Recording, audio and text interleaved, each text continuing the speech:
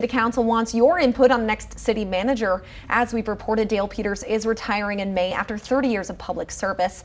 Now the city council has released a survey for residents to weigh in on what qualities they'd like to see for his replacement.